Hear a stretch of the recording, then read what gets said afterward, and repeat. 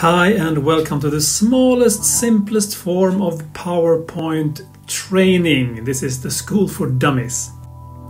Let's say, let's assume that you want to make a presentation about igloos, those round shaped icy things where people might be able to live.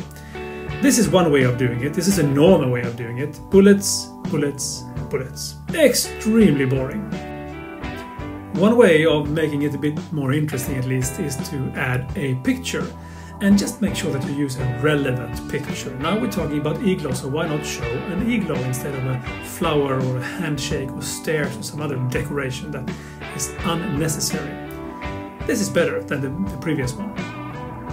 Now let's remove the bullets all together. Use the picture in the middle and then put the actual text, the short text, in that picture.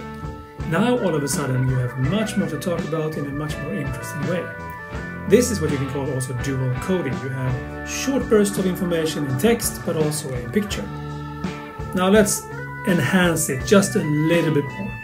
We use a black background instead so that the focus is on the light areas.